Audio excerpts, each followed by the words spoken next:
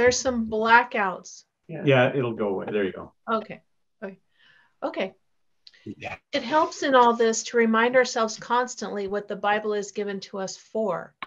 One of the most famous statements of inspiration in the Bible itself puts it like this All scripture is inspired by God and is useful for teaching, for reproof, for correction, and for training in righteousness, so that everyone who belongs to God may be proficient, equipped for every good work. 2 Timothy. Equipped for every good work. There's the point. The Bible is breathed out by God. The word for inspired in this case is theopneumostos, literally God breathed, so that it can fashion and form God's people to do his work in the world. In other words, the Bible isn't there simply to be an accurate reference point for people who want to look things up and be sure they've got them right. It is there to equip God's people to carry forward his purposes of new covenant and new creation. It is there to enable people to work for justice, to sustain their spirituality as they do so, to create and enhance relationships at every level, and to produce that new creation which will have it about it something of the beauty of God Himself. Thanks, Vicki. Mhm. And let's uh Becca will lead us in prayer. Eternal God, we celebrate your gift of abundant life. We rejoice in the ways you have come to us in Jesus Christ, in the words of Scripture, in the prayers of your people, and in the expressions of faith of those who gather to know more of you. Continue to guide us toward your goal and grant us hope and anticipation for all that lies before us. In the name of Jesus Christ, our Savior, yesterday, today, tomorrow, and forever. Alleluia. Amen. Yeah. Okay. Uh, um, I'm kind of debating here whether to go into our, uh, you know, go into our, our readings, um, and then, you know, I, I really want to talk more about the whole the whole process and everything and what this has meant for everybody.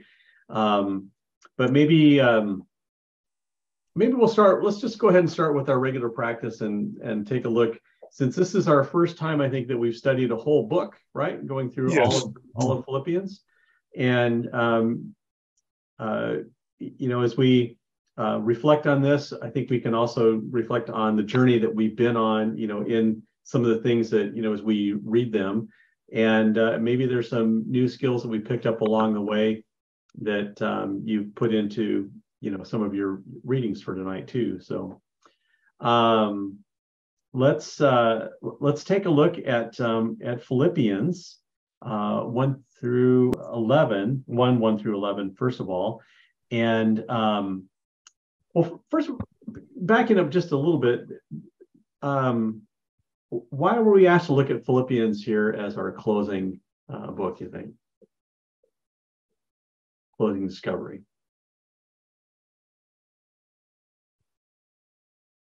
It kind of summarizes Paul's teachings in a way um, and talks about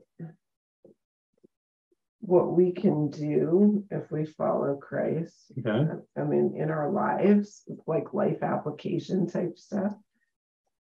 Um, The chapter is called The Goal, and I know a couple of the readings featured words about the goal Paul was talking about. Uh, I'm not sure that that was all of what he was writing about. This is sort of just a, a good look at what Paul's letters are like. Mhm. I found it to be really an encouraging letter. You know, um, I think maybe that's partly also why we have it as our last study is it's an real encouragement Mhm. to keep going.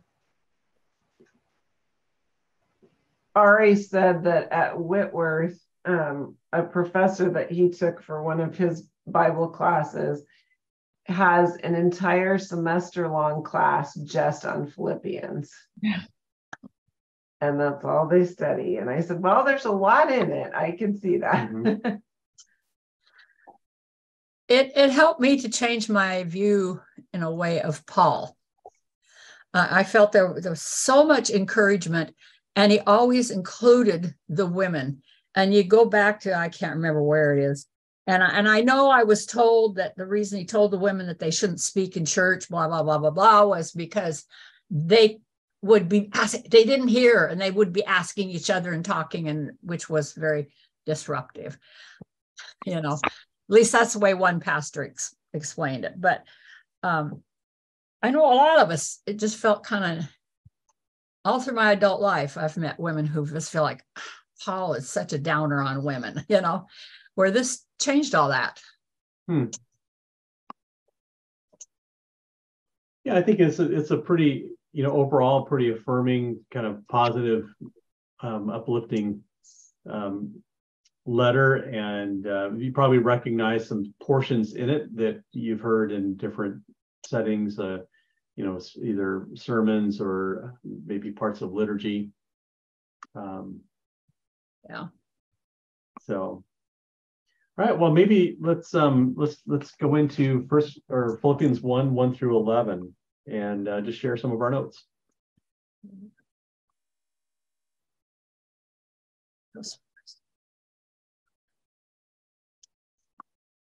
I just started with the quote I thank my God every time I remember you, constantly praying with joy, dot, dot, dot, because of your sharing in the gospel. That Paul is thankful for the Christians in Philippi and prays that their quote, love may overflow more and more with knowledge and he wants them to be pure and blameless when Christ returns. That's his prayer for them. Mm-hmm. And of course, where is he writing this from? Prison. Prison. Somewhere, yeah, yeah prison somewhere. Mm-hmm.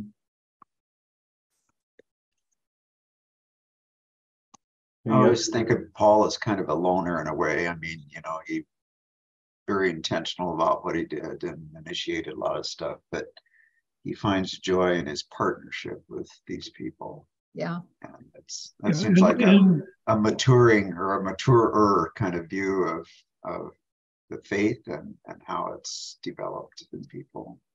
His his greeting is uh, from Paul and Timothy, uh, which is you know whether whether Timmy had anything to do with the, the writing of it. At least Paul is uh, sharing their task of uh, being examples and uh, encouraging people. Mm-hmm.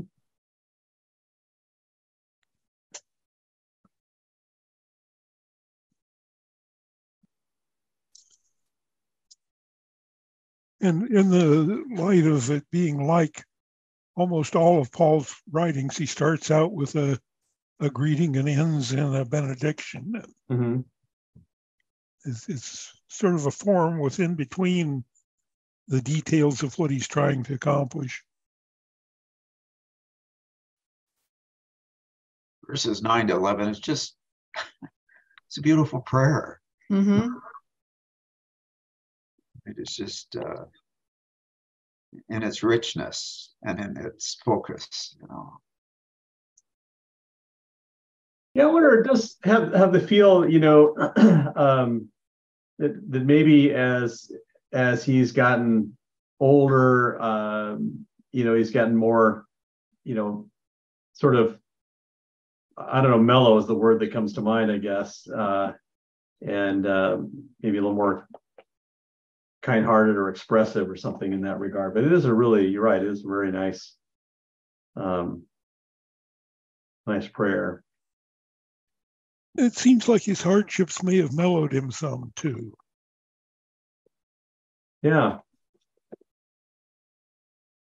Um, well, Jerry Harris over at Walla Walla does say that being in prison does cause one to think. So he's in prison when he's writing this. Maybe. Yeah, it, one one of the options is that he's under house arrest, uh, which was I think his his last imprisonment, or at least the third imprisonment that I saw listed. And in that case, he had the uh, ability to have people into his home and and talk to them and it wasn't the isolated experience of uh, almost being in solitary confinement. Hmm. Had an ankle bracelet. Yeah. Yeah. I think the fact that he was in chains or such that and could still express to the people the joy and share the gospel, I think that really got through to the people that uh,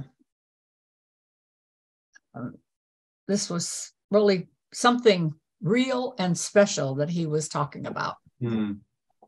Uh, apparently, the church in uh, uh, Philippi had at some point recognized that, that Paul was in need too, and had sent uh, not only an emissary but uh, probably some food and necessities along for him. As I know in one of his letters, he writes about the winter's coming, and uh, I sure wish Mark would bring my jacket with him. Yeah. So Wayne, maybe he they and uh, Rosalie they they sent uh, you know credits or something through JPay. Oh, yeah. I, I you know I, honestly the experience that we've been going through with you know OPOP and everything has made me think you know think about that and looking at this uh, this letter you know that um, you know here's somebody who's in in prison whatever the form is um, you know he he has limited um, you know access to, to to money and certainly mobility and things like that. And so people kind of connecting with him you know what a difference that must have made. Um, how about uh, we go on to the next uh, portion here, 12 through 30. Speaking of prison, 12 to 30.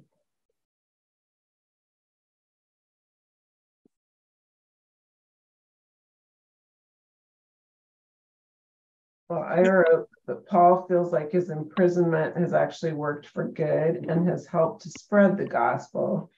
Other Christians have stepped up and dared to speak the word with greater boldness and without fear. Um, Paul wants the Philippians to be sure they are living in a manner worthy of the gospel of Christ. Paul tells them that they have the privilege of suffering as he himself Hmm. does.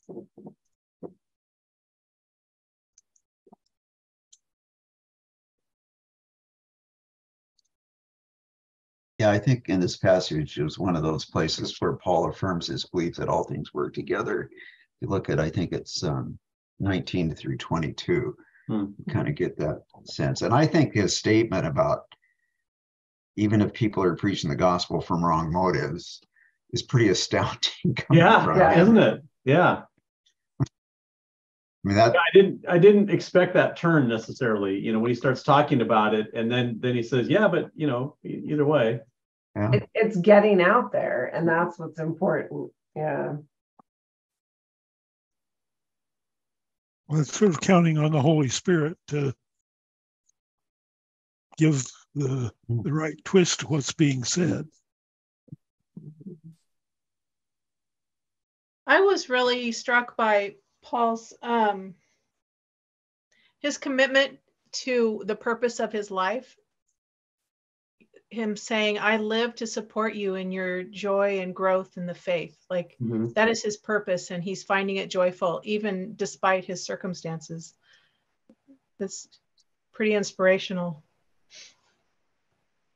I thought he was pretty broad minded in a way to say it doesn't matter what the reasons are that people are preaching the gospel, if it's to make, you know, because it says some were doing it just to make money and stuff. He says it's the fact that the gospel is being preached, Hmm. that he could see a good in that. Yeah, For which gospel that was. It- but that doesn't that doesn't sound like First Corinthians Paul in a way, does it?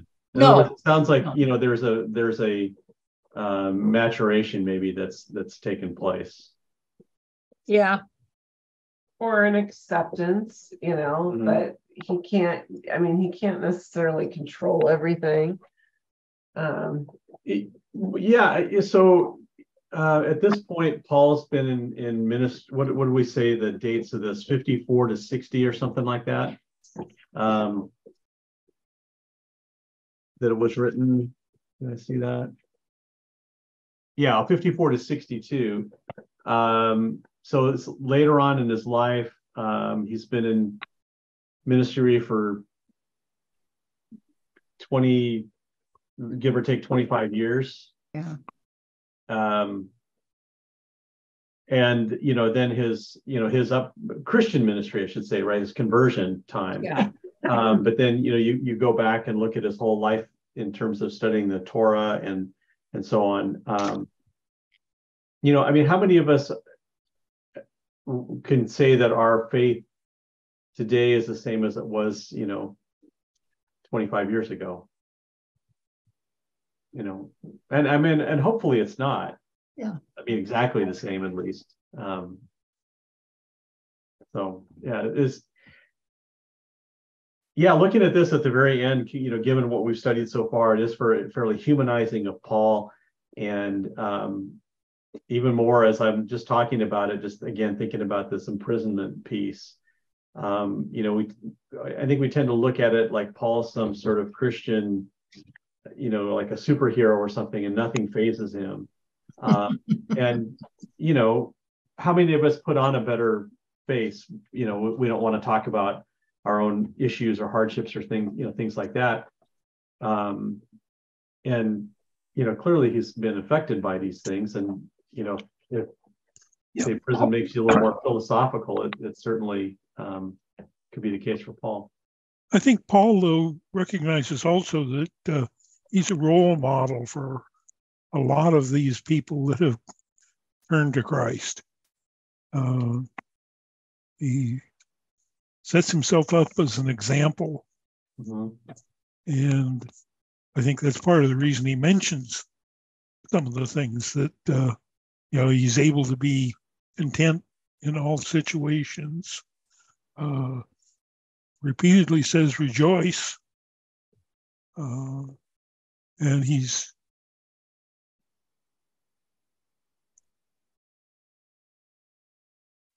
encouraging other people to to to have the same uh, behaviors. Mhm.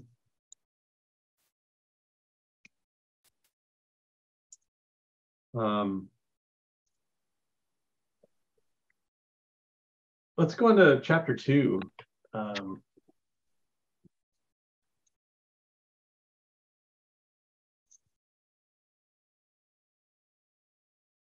anybody have note? Anybody look at any study notes on um, like verses six through eleven? Or Now, my Bible through 11? suggested it might be a hymn, an Mhm. early Christian hymn. I found that interesting. I guess that's why it's written, or the the style of it is written a little differently. Is there Yeah. any? Mhm. Is that kind of the consensus? I don't know what others say. Yeah, it it it, it in, indicates that it's some sort of poetic form rather than uh, but just straight text. Mhm. And uh, again, I I'm pretty sure that if you looked at it in the original, y- you know, some of the original manuscripts, it would all just kind of flow together. Um, so there's there's a lot of interpretation that the um, translators have to make. Um, been a lot different if you know back in the day they had you know word processing and stuff like that where they could you know format stuff. Um, and we can do all that stuff so easily now, you know, on a computer. But um, so there's you know there's that's one of the, the challenges you know we've one of the things we've talked about is translating the bible and um, so there here's an example of, of one of those kind of challenging aspects where you don't know the full context of it but it does seem to have um, a uh, maybe a more hymn-like character. I, I think if you you could interpret if you interpret it a different way like it was uh, a part of his sort of uh, like a systematic theology it would have a different feel to it perhaps um, but even the, the language itself seems a little more a little more poetic than if you were writing a systematic theology. Um, I don't know if anybody else has notes written down from when Paul Matson taught a class on this, but I've got all kinds of notes in mine about how in Greek culture, humility had a negative connotation if you were humble, it meant you were looked down on a lower class. And how also how countercultural Jesus was. Hmm. That everything, you know, he humbled himself, he became obedient, even, you know, to the point of death. He also never exalted himself, which was also countercultural. Mm-hmm. So, anyway, I just, it's fun for me to see these notes from previous classes and go, oh, yeah, this was great. You know, so. Yeah. Oh, by the way, um, while we're well, actually, let me, I'll hold off until we get to the beginning of chapter three, I guess, and then I'll I'll, I'll bring something up. But so, um, how about the any, any other items? Maybe the second half of Philippians two. Anybody have a question about working out your salvation? I just had a question about that. yeah, what is it? What does it sound like? Well, I mean, he puts a lot of emphasis on uh, our Christian growth being related to the renewing of your mind and uh, greater knowledge and the love. And I think maybe just more, hopefully, more fully understanding some of that as you grow uh, in your faith, which I think is apparent even in this epistle for him to some extent. So I don't think it means I'm responsible for my salvation, if that's what you're saying. Yeah, I think if we read it in the full context of the scriptures and Paul, um, we come up with a different, a different understanding. At a, at a, glance, you might think that it has to do with like a work salvation, um, but elsewhere, of course, he talks about uh, grace. Um, scripture we're going to be looking at um, a, a week from uh, Sunday from Romans, looking at um, you know Abram's decision to follow God's promise, you know that uh, that was reckoned to him as righteousness, you know through faith and so on. So if we're if we're in a chapter that's talking about the the goal, uh, our salvation uh, might be thought of as the goal or one of the goals. Uh, but is it the motivation uh, for our behavior? Um, am, am I going to do good works because I'll get salvation that way? Uh, am I, or am I doing that because Christ has made these sacrifices for me? That's a good question. What what do what do we what do we glean from this? Um, what kind of answer will we glean from from what we read here?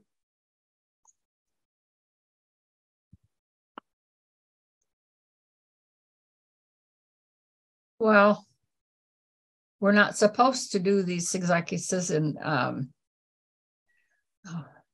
verse three.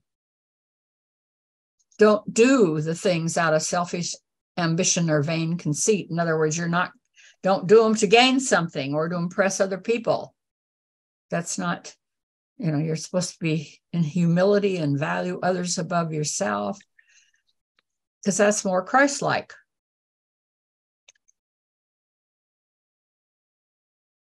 It is. I noted that it's kind of funny in uh, verse 16. He says, it is by your holding fast to the word of life that I can boast on the day of Christ that I did not run in vain or labor in vain. And I I thought it sounded like he was kind of saying, "Do this for me, please."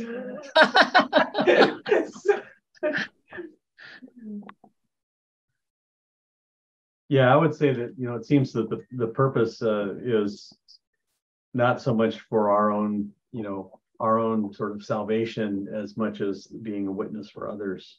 Well, we can't earn salvation. Mm-hmm. Um, I sort of like the image in that little phrase about um, where to go here. Uh, as you hold out the word of life, just kind of Huh. I mean, is that a model for witnessing, maybe? Hmm. hold it out there. Hold your life out there. Hold the word out there. Just sort of stick it out there. Hmm. which verse is that, Wayne? Oh, Becca just read it here as part of it. I think 16. Um, 16. See, I don't have. Holding maybe phrased a little differently in yours, Becca, I think. Yeah, it says holding fast to the word of life is what oh. I have. What oh. does yours say? Uh, and it says, and as you hold out the word of life huh. in order huh. What translation is that? It's in our Interesting. Okay, and mine says hold firmly to the word. Yeah, that's what mine says too. Yeah. Oh heck, I kind of like holding it out there. Yeah, yeah. I know. It is, it's a really yeah. different image. It's neat. But you might be reaching out there, grasping for it. yeah. I think it's yeah. offering it. It's sort of offering it as yeah. I see that. Yeah. All right. Um, chapter three. Okay. What did you note in that first section in three?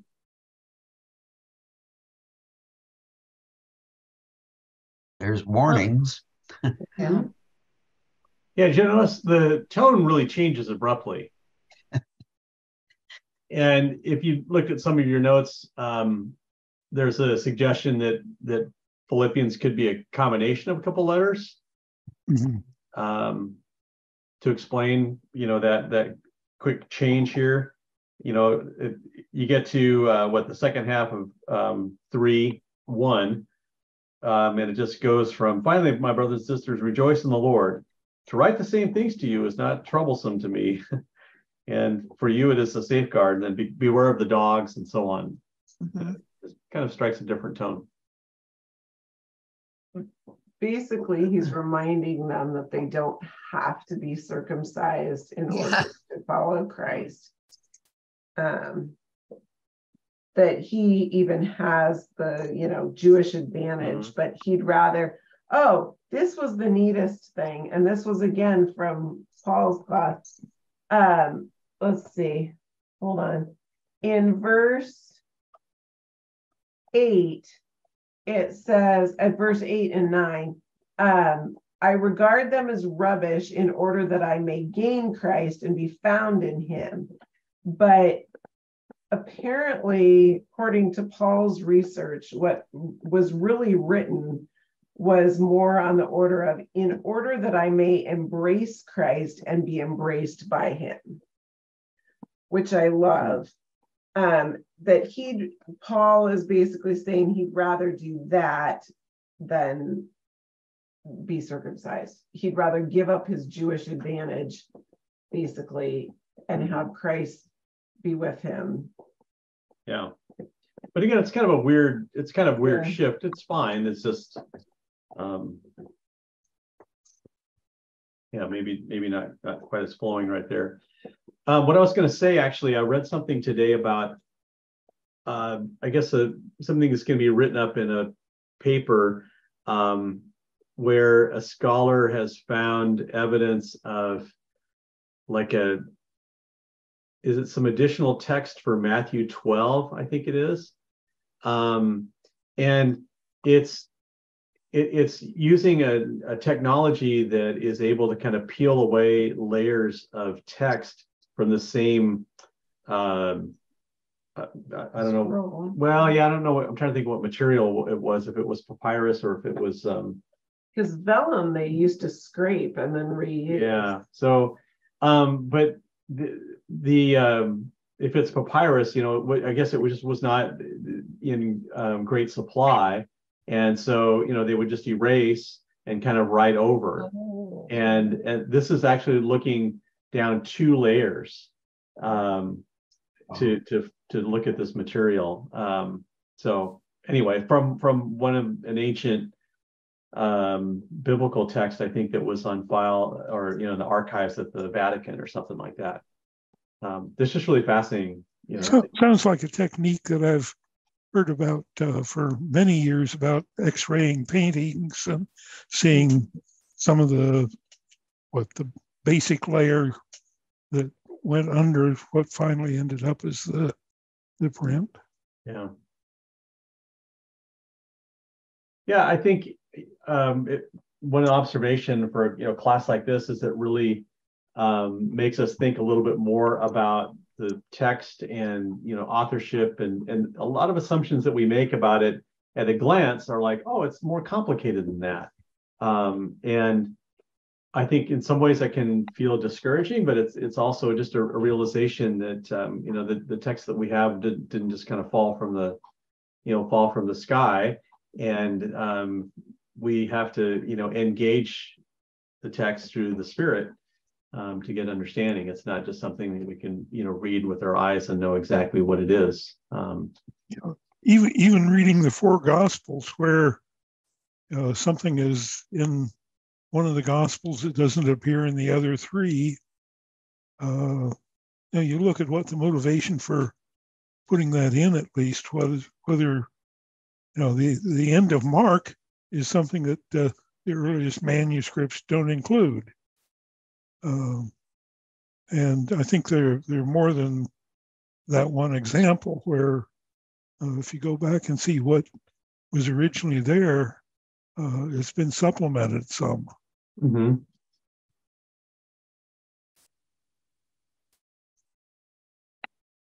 Um, the second half of the of Philippians three, we really get a, a, kind of a listing of the various things that Paul has had to suffer. Uh, what's his what's his reflection on all that? That it's all worth it Yeah. compared to the knowledge of knowing knowing uh, Jesus. And then he kind of adds a couple phrases, not just knowing Jesus, but knowing uh, Jesus and his resurrection and knowing Jesus in the fellowship of his suffering. You know, Mm. that, that doesn't sound real great to me. a couple statements that uh, emphasize faith, faith in Christ, uh, God, uh, righteousness from God based on faith. That's verse nine. Yeah, I was just thinking, um, can you imagine if we had like a, a Bible study or something, a small group of fellowship of suffering? you know, and, and and yet, I mean that that does um, you know express a very uh, kind of I don't know critical aspect of the Christian life, you know, how we deal with suffering. Yeah, I can imagine uh, uh, your your study on death uh, might have included uh, some how do we deal with suffering. Uh, Loss, yeah. people that are sick, people that are in relationships, uh, uh, widows and uh, divorcees, that sort of thing, go through some grievous experiences. Mhm. What I wrote down for this part is that he's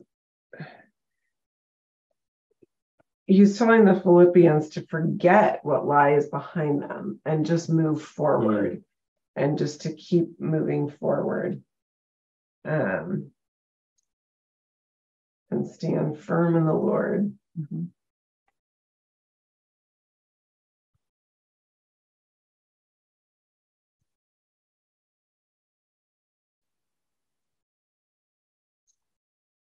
Well, let's go to Philippians 4, probably the most um, encouraging portion of the letter. Which I always read this and think of the song, Rejoice in the Lord always. And again, I say rejoice. Diane knows that one. Yeah.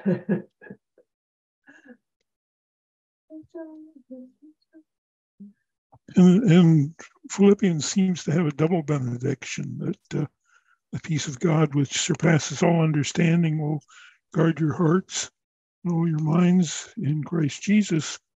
Uh, comes well before the the one that's at the end. Hmm.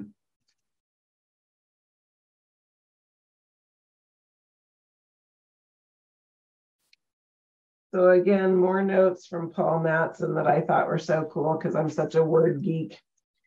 The root of the Greek word meaning rejoice means leaning toward, indicating we should lean toward God and not circumstances.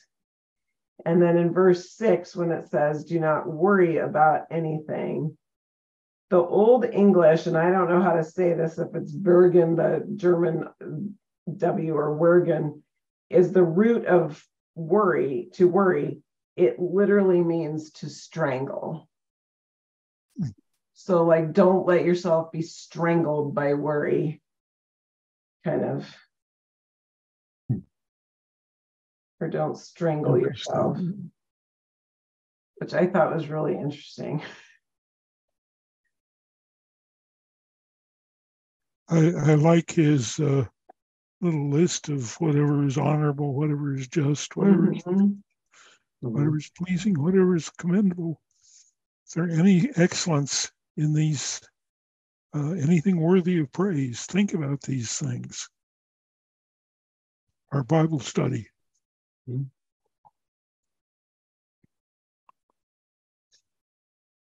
Um, so let's let's talk a little bit about a little bit about the um, the experience. Um, Do we want to end? And oh, the last part. Four ten. Sure, go ahead. Well, you go. I mean, whatever. Yeah. I just thought there's a whole another section. Oh, okay. go for it. What do you? Well, this is the part where he's talking about he's learned to be content with whatever he has and he can do all things through him who strengthens mm-hmm. him. Um, he's also thanking the Philippians for their concern and their gifts of support and tells them that because of their sacrifices on his behalf, um, my God will fully satisfy every need of yours.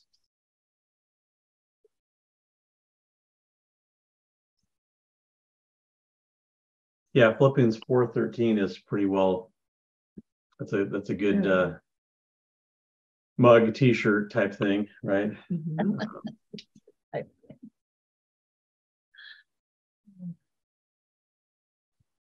um,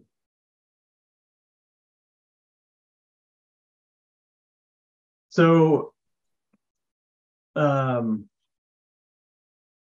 let's talk about let's talk about the the um, the experience um, that we've been on for the last, well, longer than 30 weeks, but for 30 sessions.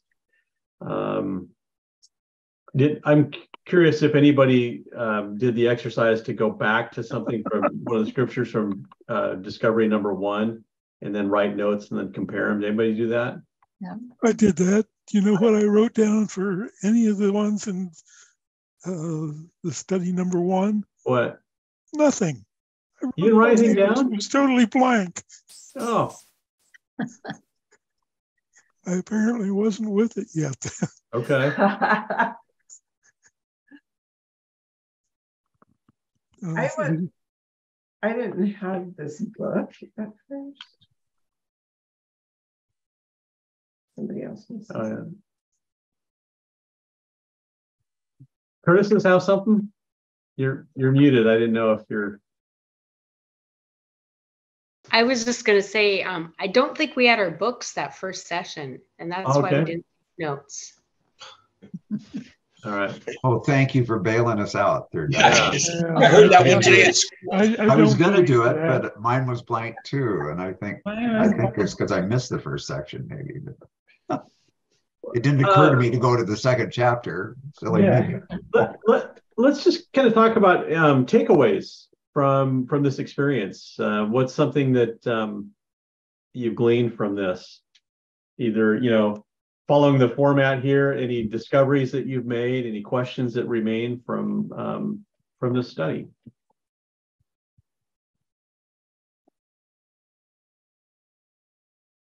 So I would say the way this course was formatted really helped me understand the Bible so you know like the the way it wasn't just sequentially we weren't just reading sequentially it was kind of divvied up into things that are chunked together.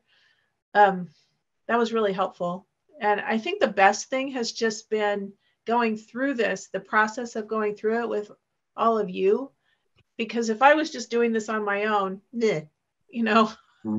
I get what my little thoughts are out of it. But hearing everybody else's thoughts has been so, so helpful and enriching and just really wonderful.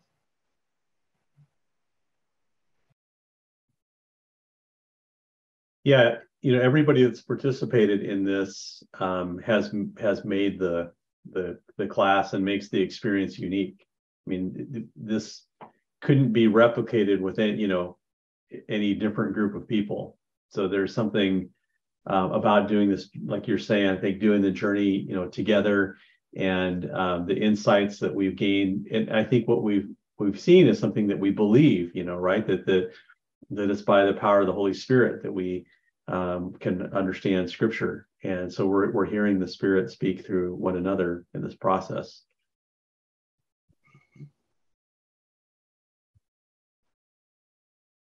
Yeah, and I just I'll keep talking. I didn't know because um, I hadn't really I tried to read the Bible before. Okay, I'm going to start with Genesis. Okay, I'm going to start again with Genesis, and I'm like I'm just bogged down, you know. Um, and so apart from participating in other Bible study classes, studying little sections of it, I hadn't read kind of through as much of it as we did here, mm-hmm. and I didn't know how much I would appreciate Ecclesiastes I just really did.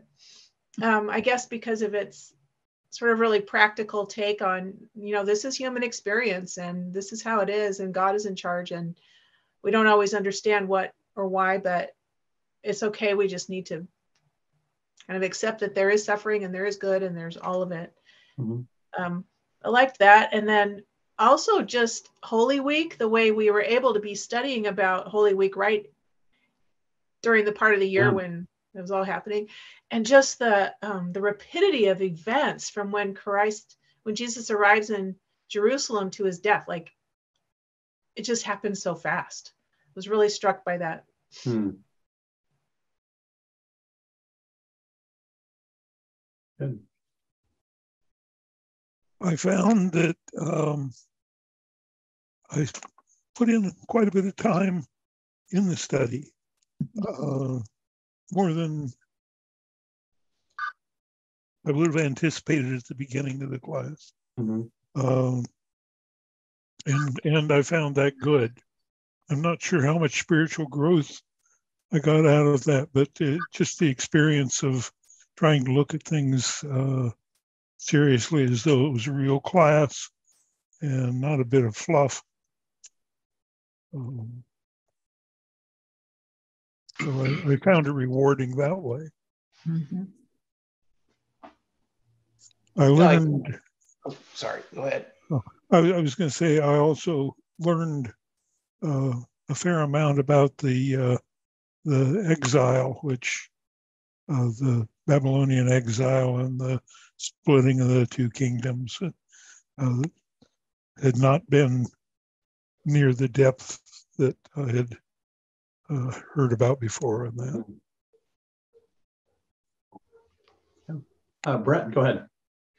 Oh, I was just going to say, I it just really feels like to me, and I have not taken uh, Bible classes at, at university, but it, it feels like to me it's it would be my idea of what like a, a upper level uh, class, taking a, a, a, university class in uh, theology. And it just it, it had a lot of feel to that uh, like that to me uh, as we went through it. I, I, you know, for most my life, um, I've the experience, my experience of of Christianity and, and spirituality has been, you know, what I would call maybe uh, a two o'clock in the morning Christian, where I really felt the power of God and, and the Holy Spirit waking up at two o'clock in the morning with some heavy burden on my mind. And then to me, that's that's real stuff. But then to go on and, and into this more of the intellectual part of it, like you mentioned early on, Matt, about uh, you know talking about and discussing uh, the people that actually produced this literature and, and what they were going through and, and their experiences and how that would their their uh, personalities would would uh, temper what they wrote and and the, the things that they preached. And uh, that just that that component that angle uh, has been really refreshing and it's what it's done is uh, helped the spiritual growth at two o'clock in the morning uh, spirituality that, that I feel like I've had for m- most of my life. Hmm. It's it's helped that it's it's enhanced it, and it's uh, it's just been real refreshing. Cool. Yeah, I can tell you if any of you go on to seminary and you take you like it, I don't know if they call it the same thing now, but I took uh, you know the intro uh, Old Testament, New Testament, OTO one and NTO one.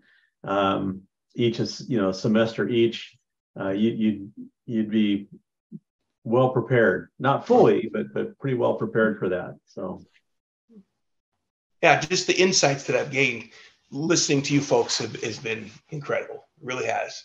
Uh, just just a, a wealth of, of knowledge and understanding I've gained.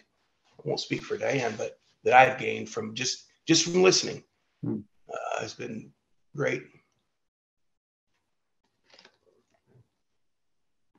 Well, for me, it's it's more personalized my relationship with the Lord, um, and taught me a lot of things. And I know when um, because I'm make I'm going to make a big change in my life, and people are saying, "Are you ready to give up this? You're ready to give up that?" Yeah, I am. I think the Lord has prepared me for it, and um, I can still the important things in my life I can still have and uh, consider my my church life and activities and uh, wanting to be of worthwhile um, in the church and friendship for people. And I, I know how important it is to me to be in the presence just the fellowship of friends who share my faith. And we grow with each other. And no matter how old we are we can keep growing in this and uh, that's that's what it's done for me is uh, giving me more that that content and uh, acceptance of whatever changes are going to have to happen. Hmm.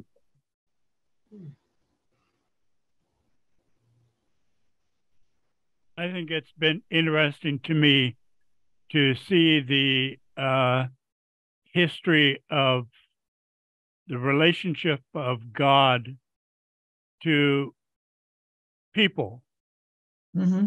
uh, and the issue of uh,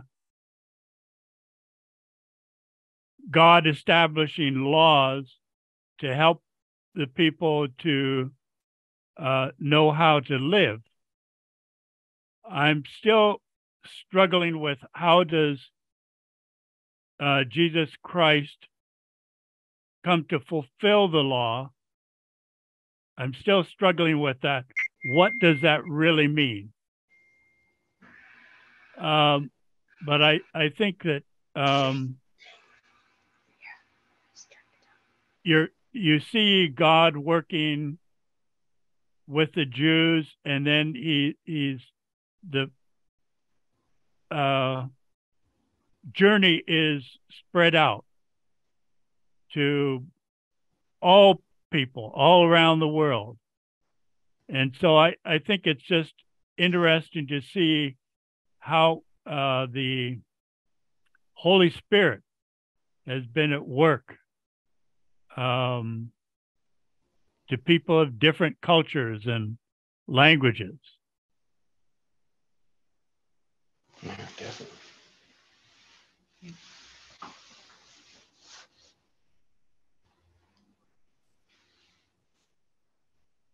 Who else? Tom or Diane, Ardith, Wayne? Like that. Well, I, go ahead. I guess I like that it was, you know, very organized and scholarly, and it really helped me put things in perspective and how different parts of the Bible all fit into the whole.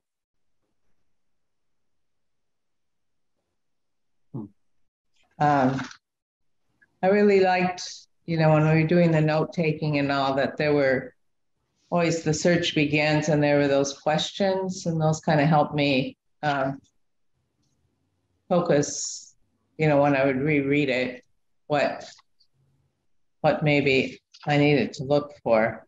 Hmm. But um, yeah, I usually I just you know work with one book of the Bible, or you you know have a message at church and you have a passage and you focus on that, or something from devotional things. But just doing the whole thing, I think, really helps put things in perspective and to see the story of um, the Jewish people and everything, and then Christ and um, the new message. I don't know, just made a lot more sense in the the, the completeness of it. Mm-hmm. I had occasion uh, earlier in the week to look at the uh, the course description, and uh, whoever was writing it said that you know they weren't trying to uh, what give you a set of facts that you need to work from and and learn what they wanted you to learn.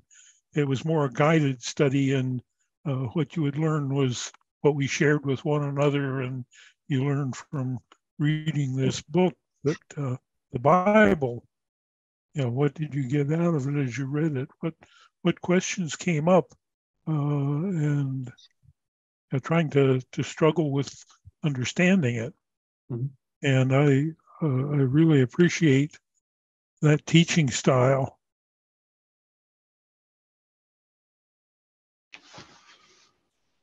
I think it's also interesting that the issue of the covenant uh, changed and the seeing the the change and what that means. Mm-hmm. Did did the covenant itself change, or did it get amplified? Or there more more covenants made that didn't supersede the first one, but that added to it? That could be a good segue for the the follow up study to this. Uh, when we're going to take a we're going to take some time off before we come back with another offering if if you know people are interested. So um, we'll, we'll look at some themes. Uh, another Kerygma study that looks at themes of um, like covenant, for instance, throughout the throughout the scripture. Now, that's going to say one thing that has um, you know, kind of been impressed upon me, maybe a couple things in our our reading and the study this this time around is um, there's the idea of uh, how different um, different things in Scripture, you know, change over time in the in terms of the understanding of say something like covenant, how that that changed over time through the experience of the people you know, looking back maybe at Exodus and then trying to deal with the exile and Roman occupation and things like that. Um, even as we were talking about with Paul, you know, some of his writings, they, the, looking at Philippians tonight, um, gives us a, a, a, sense of the progression of his thought, maybe to an extent. Um, and um, something I was using as kind of a springboard for a sermon recently, and thinking about the you know the concept of Israel and um, and how that understanding changed over you know over time. And so when we look at um, the scriptures, I mean, when I think maybe Brett mentioned scholarly, you know, there's some scholarly element when we you know studying the scripture. I always kind of felt like when that comes up, it's like you know, especially when you look at Bible studies, uh, you know, go to a Christian bookstore and you look at the Bible studies they have there. I remember that we used to, you know, get a, a little packaged Bible study, and uh, we wrestled and wrestled and wrestled trying to find, you know, a good Bible study. And it felt like there was like, well, this is more kind of a personal faith, spiritual, and this one's more, this is too academic, too scholarly, or something.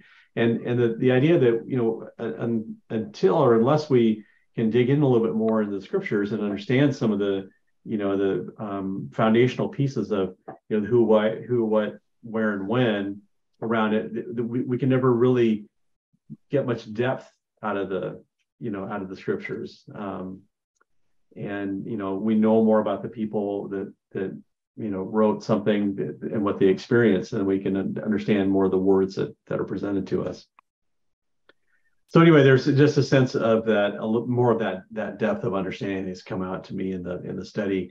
And then the part that we looked at like we're studying with ruth right now and the idea of you know um, ruth and jonah being written as uh, you know kind of a um, counter argument to what Ezra and Nehemiah, you know, were were were talking about. It's like that was really that's that's pretty cool, you know, kind of eye opener.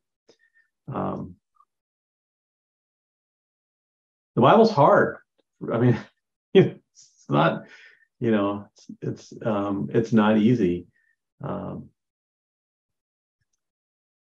somebody mentioned, you know, it, it, it is a fair amount of work, obviously, from from week to week and um, uh, you're here, I think, at the very end because you tackled that most most times at least, uh, or gave it, you know, gave it a good effort. Um, I'm kind of curious if you, um, let's say, we do the in-depth study, whenever that that that will be, and somebody approaches you and says, "Hey, you know, I know that you took part in that you know, discovering the Bible series. Um, you know, Pastor Matt's doing an, another one here. Um, w- what did you think? What am I getting into? you know, what would you tell them about this? Uh, um, about this, in as they're thinking about something, you know, future study. It's, it's in depth and it's good, but it is literally hours of work every week. Yeah, yeah, it, it's a lot of time. Yeah, I felt often what spoke to me was different than what spoke to some other people. Mm-hmm. And of course, I, I tend to feel this way any about time. I think about scripture, and that's why I I'm not afraid to write in my Bible, and I'll go back and oh, that's what it said to me then. Yeah, that's not what it says to me now. So yeah, I I did I spent a lot of hours, and uh, then I come to class, and other people had different ideas than I did about what it said. I I often really liked the, you know, the focusing the search or the putting it together sections more than just necessarily taking notes on each mm. scripture passage. I thought it was really interesting to compare them or you know when we were asked to do a little drawing or do something like that and that was really the map thing that was really cool mm-hmm. I liked that. I like the map, but don't ask me to draw or write a letter to somebody. Those really were hard for me. Yeah. right. And there, it's not always, yeah, yeah. Some weeks it was different than others, but yeah. those were really interesting to me.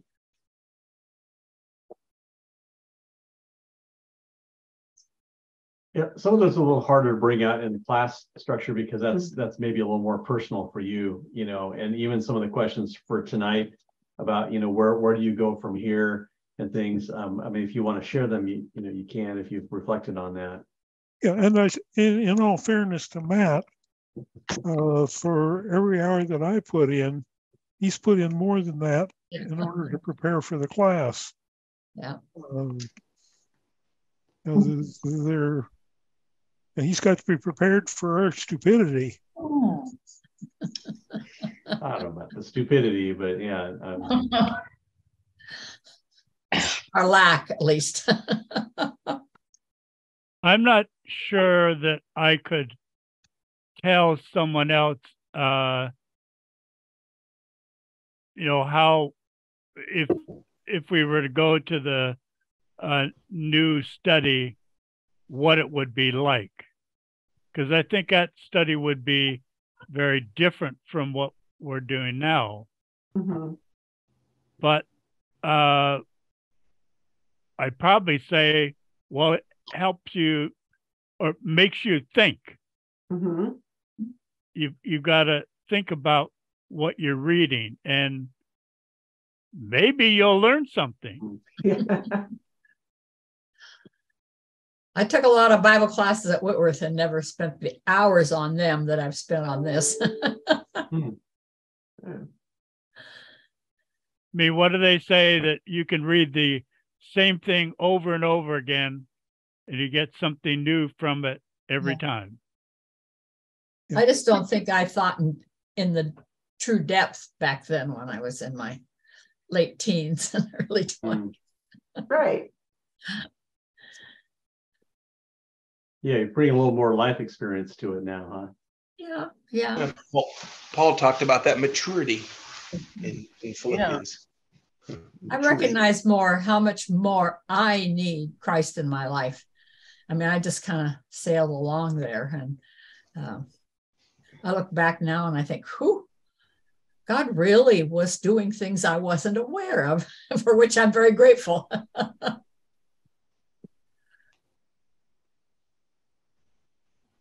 think an extended class like this, though, um, there's a kind of continuity to it that gives people a, a, unique opportunity to get to know each other a little bit differently. Uh, that you don't get in a Sunday school class where people come and go, or you don't get looking at the backs of people's head on Sunday morning. Uh, I really feel like I've know you all a little bit better. And whoever thought that would happen on Zoom for crying out loud, you know? but I, I attribute it just to kind of the duration and the sort of continuity in the study itself, I think. So for people who kind of feel a little bit uh, distant maybe in church, I think this really represents, excuse me, a good opportunity to make some connections at a little different level. And I think that's helpful. So that's kind of my comment on the class and the structure. I to say this or not, but I'm a little bit um, unhinged. That's maybe a little bit too strong here. Mm-hmm. I'm not quite sure what I think about the Bible right uh, after this class. Hmm. Um, you know, if you grew up pledging allegiance to the Bible, and it was the immutable word of God.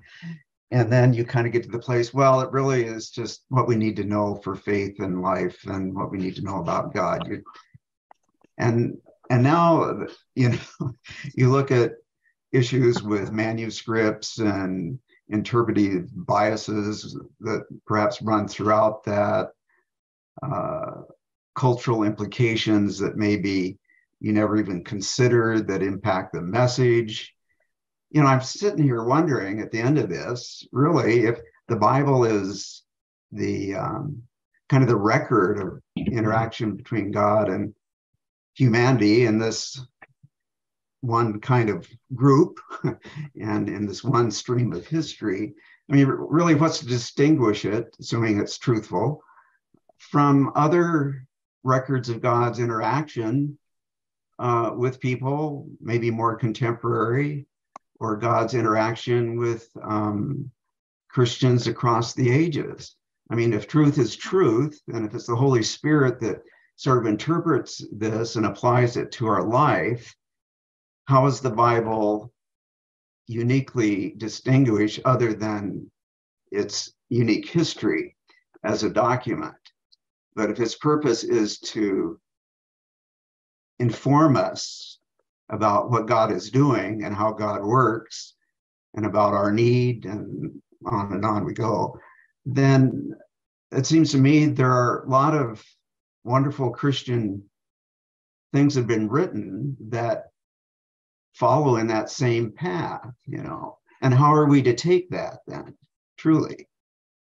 Uh, so, yeah, I'm just kind of sorting that out. I don't know if that makes any sense to anybody else, but it just, I guess it's just not fixed. So for someone who's grown up with it fixed, that takes a bit of sorting. You got your work cut out for you. I, I think one of the uh, things that I did uh, a couple different times during my faith journey was to write uh, the equivalent of one of our church confessions. What do I believe? Uh, what are the fundamentals that I believe? And I, I think you know your question, Wayne, is a little bit like that. What what part of the the Bible is is really the the, the rock that your uh, belief is built on, and how much of it are you willing to see crumble? Um, and how, how much is how limited is the Holy Spirit in working with me by virtue of my own problems, you know, or my own inabilities to be worked with, if you will. Mm-hmm. You know, that's the other thing too. So I don't know. It just seems like it opens up a lot of a lot of uh, possibilities. I guess you want to frame it positively, or pitfalls. well, um, yeah, and um, Wayne, those are all great questions, and those are good, I think, good things to wrestle with. Um, but it's hard to, you know, there's no quick, easy, you know, response. Um, I'll tell you a couple stories though. Uh, I was saying that some of this will prepare you for, you know, the OT and NTO one, and um, but I remember, you know, some of the some of the um, you know, kind of, I don't know, arguments and things, debates that erupted in like those intro classes, like especially OTO1, for instance. And, um, you know, looking at, at these kind of a, you know, the scholarly work and so on that, um, you know, these are people that are going to seminary, right? I mean, this is a, this is a three-year master's degree program. And, um, you know, some of the stuff that we're looking at in our intro class uh, just blowing people's minds. Um, you know, I mean, this isn't like going to, you know, to to Bible camp or something like that. I mean, it's you know, it's pretty pretty rigorous, and um, you know, fortunately, we had been prepared because we took a Bethel Bible. Some of you may have heard of the Bethel Bible series. Uh, we took a Bethel Bible series class. We got through just the New Old Testament part of the New Testament. Yeah, we got through like one and a half years of it. Yeah. And um, but the the woman teaching it, um, she went beyond just what was in the materials of the you know of the um, Bethel series and brought in uh, more that you know to help us understand and kind of kind of learn. And I felt like when I went to you know the OTO one uh, I was pretty pretty well prepared. A lot of the things that that they threw out there, um, I already at least had some some knowledge of. Um, and so anyway, um, this is the part of what com- you know, complexifying scripture, you know, that um, I think is kind of necessary. It's like you know, it's like working muscles. You know, the you you build muscles by by tearing them, right? And um, so a story I want to share with you is um, uh, I can't. I don't. Were spouses? You can re- tell me. Remind me if spouses uh, if spouses were there for this or not. But um, we had a gathering early on my first year in seminary. Uh, that um, like toward the beginning of that first semester, and the president addressed uh, addressed us in the um, in the student um, union. And I, that's yeah, why. We okay. the spouses team. Okay, there was a spouses thing, and um, and he was he was talking to us and he said um, you know something to the effect of um, we're not here you know the, the faculty administration we're, we're not here um, so much to build your faith as to tear your faith apart that's what this the seminary education you know will will do. Um, and so it's kind of like yeah not like a bible camp or whatever um, and and this is what's going to happen. You know th- you know he's just kind of laying it out there. This is what's going to happen.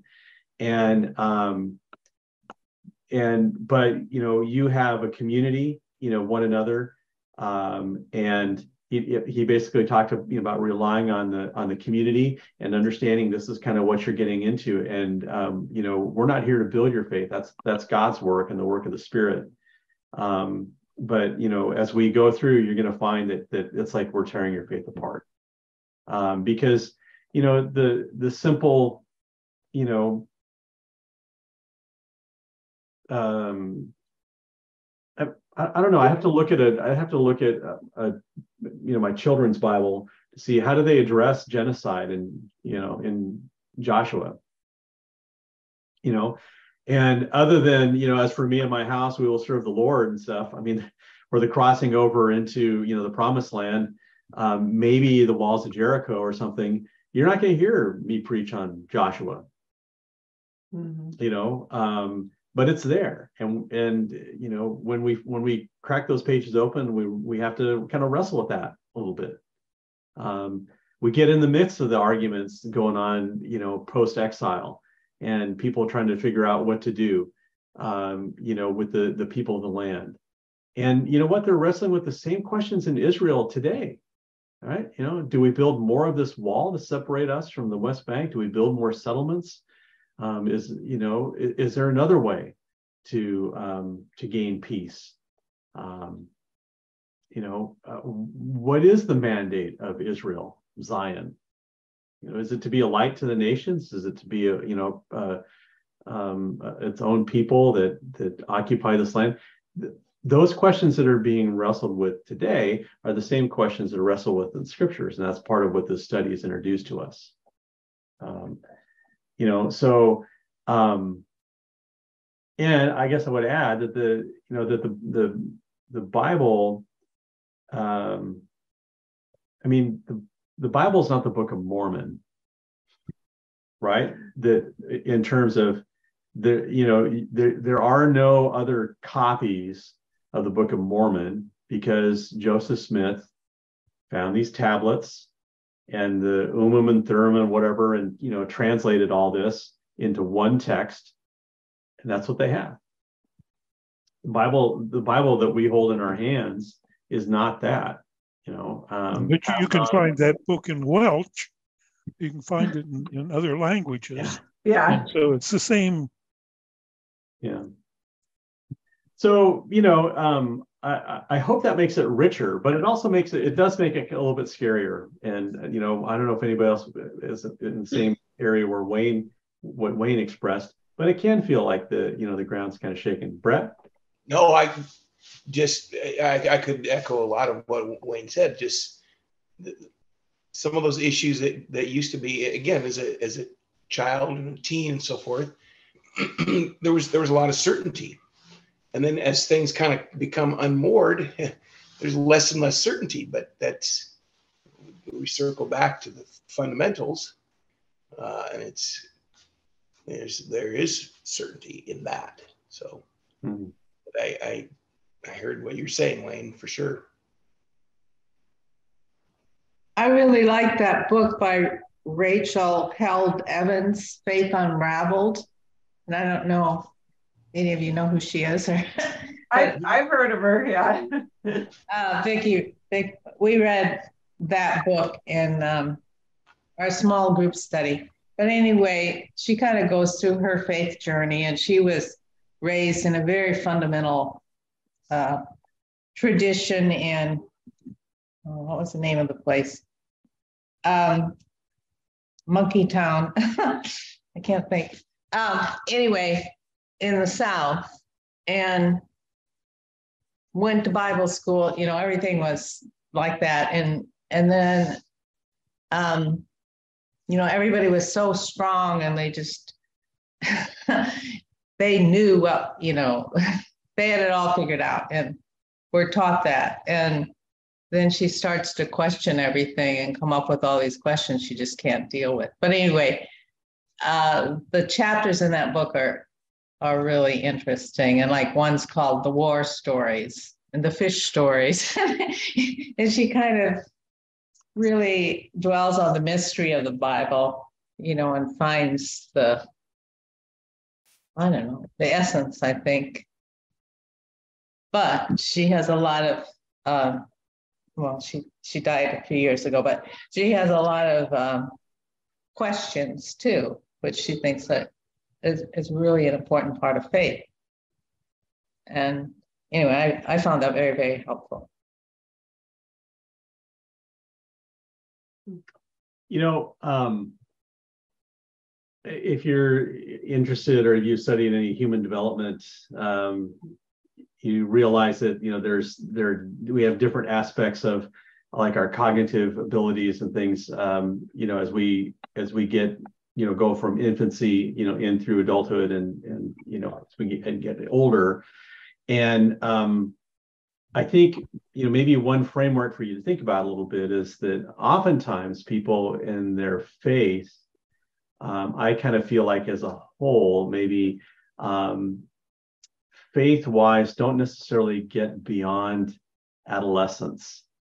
And b- by that, what I mean is that there's a there's a there's an intersection with adolescence and kind of fairly concrete thinking that um, you know it it uh, relates well with like with faith and like youth group and things you know that that people can um, you know ad- adapt some of the teachings that they're that they're getting and they they have they form a fairly concrete set you know kind of a faith idea um, and maybe that's what president gillespie was getting at when he was talking about you know these people in seminary.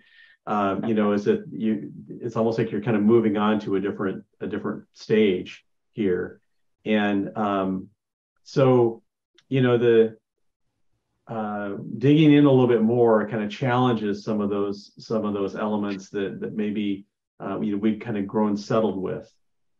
Um, and that that might be part of part of the experience of, of doing a study like this um, but i think uh, you know the, the, scripture is a there's a lot of paradox in scripture that we have to wrestle with um, you know faith and works right and grace and so on, um, and um, and mystery. Just you know, trying at some point we we have to just put our kind of put our hands up and and uh, trust in the mist you know some of the mystery that we experience here the scripture that i looked at by the way in looking back at uh, the first lesson was from isaiah 55 and um, you know my ways are not your ways um, and just kind of reflecting, you know, reflecting on that. And yet still, even then in that scripture talking about, you know, as the, the rains come down from the heavens, that, you know, my word will be fulfilled. Uh, and the idea that uh, God's word, God's will is fulfilled um, in people like us. And, and people like us are like, you know, people that are expressed in here. Um, that, that wrestle with God, wrestle with the questions that we wrestle with, and so on. Well, I think that's a good recommendation for taking the class. Sorry, I didn't leave. I just didn't want you having to deal with my blinking camera here. Yeah. didn't want anybody to have a seizure or something. Your camera, no not your light source then. Class is enough of a headache. We don't need any more. Yeah. uh, any any closing closing thoughts here? We just a few minutes uh, a uh, few minutes left. Uh, was it worthwhile? Yeah. Oh heavens, yes. Absolutely. Yes. Yeah. Absolutely. Very positive experience. I think it helps us get to know you a little bit more, more too, Matt. So I think that's good. Oh.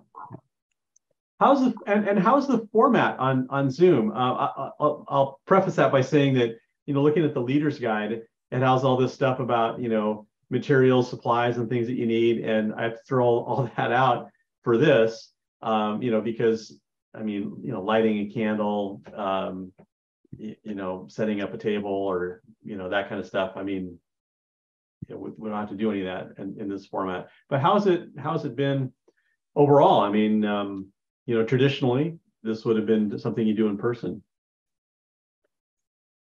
I like classes in person and at the same time, for an evening class, I'm not, I once I get home, I'm not going out again.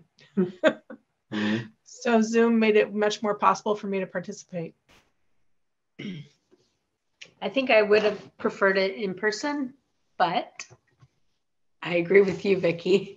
It's kind of nice to be home at the same time.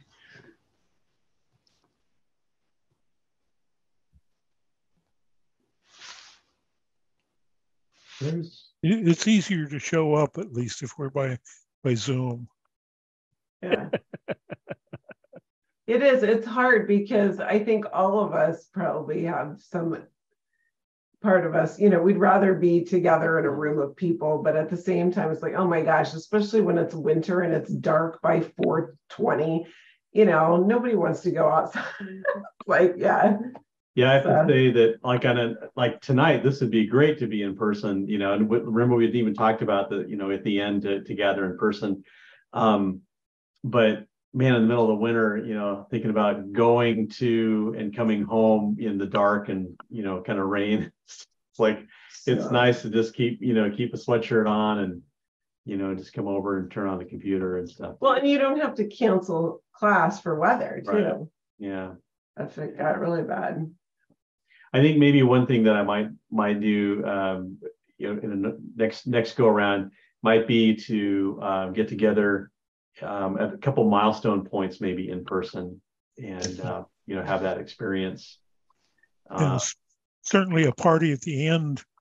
Uh, yeah, yeah, I would probably find I'm great at thinking about it, not good at executing things like that. So I'd, I'd probably have to some point ask a few people and say, "Hey, you want to plan something for us at the end? That'd be great." Um, so, um, Maybe well, one idea to consider, and I don't know if this would work at all, it might not, but um, given how much time we were mostly spending in between classes preparing, maybe sometimes we could divvy it up and say, you know, okay, Vicki, you take this section, read it thoroughly, be prepared to, you know, really mm-hmm. discuss it, and kind of divvy it up. So there was a little bit less work in between. That might work sometimes. Mm-hmm. Mm-hmm or even in in yeah in a general sense if yeah uh I, i'd have to look i um it's been so long i don't recall i've got the materials for the the other um well if it's like themes yeah depending how many passages you could even have like two people do the same one because they might bring different things to it or whatever kind of yeah that's kind of a neat idea. And, uh did have any of you looked at the videos? Like you missed a class and you went through and watched the video? I did once. You did once? Because there, I, I, we don't know exactly who, but um, I was asking Lauren, you know, because the um, videos are only accessible to us, uh, or if you know, if you, through your email and stuff. Um, and each week there's a, a, few people are watching, so um, you know, and I know there's some people that that uh, haven't been, um, you know, have, have for different reasons haven't been with us and stuff. And so I, I, haven't checked with them. So that's probably one thing I'll do in the future is just maybe take attendance stuff too, at least to market. So. Yeah, we I, th- I think the first meeting we had probably close to 20 people. Mm-hmm. And we now all fit on one screen here. Uh, what is that? So we have 11 people tonight. yeah. So we, we, we lost some people along the way. Yeah. And maybe they're watching but uh, well, yeah, and there's um, probably what four people at least I think that that are been pretty regular that are not with us tonight. So um, that's yeah, you know, I, I think the, the sense of participation at least where uh, you know I tend to speak up too much, but where you anticipate that everybody brings something something to the uh, the the meeting uh, that they can share. Yeah. Well, um, yeah, I, am I'm, I'm pretty impressed with uh, the level of participation and and commitment that you've all made. Thank you so much for for being part of the journey. Um, you know, I've I've learned um, along with you, and so um, you know, I mean, the, the scripture is the, li- the living word, right? Um, and um, so I, I, hope this inspires you to continue to study and look forward, hopefully, to see most, if not all of you, um, when we we pick up the more in-depth one. Again, we haven't figured out when. It might be a year from, might be you know not this school year, but the starting the fall of 24. We'll see how that goes, uh, or maybe the spring of next year. We'll see if I get the itch. But thank you all. Um, I'll close this in uh, in prayer. And if you have other thoughts, comments, uh, please send me a note. Love to hear from you. Let's pray. Lord, thank you for your word. We thank you for uh, your spirit opening your word for us. And um, thank you for the commitment of uh, all of these folks uh, to, to study together and um, to learn, to learn from one another as, uh, as you've opened uh, the Bible to us. Continue, Lord, to walk with us and help us to grow in our understanding that um, our faith would grow, our, our witness would be strong, and um, sense of your presence um, with us in all times and places would deepen. As we pray in Jesus' name. Amen. Amen. Amen. Thank you, everybody. Thank you. Thank, thank you. Thank you so much. Good night. Good.